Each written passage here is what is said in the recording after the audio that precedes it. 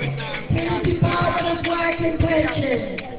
Shame on you. And it goes to show what you are. You're faceless cowards, you can't face us.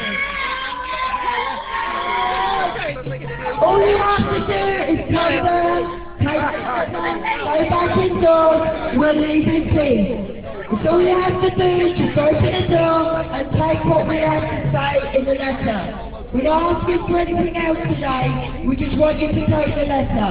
And I'll tell you this, Department of Work and Pensions, Mike Taylor and Duncan Smith, we've got more heart, we've got more courage, we've got determination, we've got strength, and we'll keep the faith, we'll save the ILF, and we'll keep our independence, and we ain't going anywhere, and we're gonna last, we're gonna get you out, and we'll keep fighting for the ILF!